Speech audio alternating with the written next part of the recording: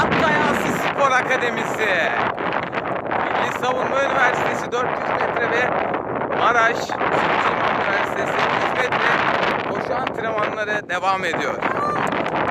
Gelmeyen arkadaşlara bir sözümüz var. Kazanamayacaksınız. Gaflet içinde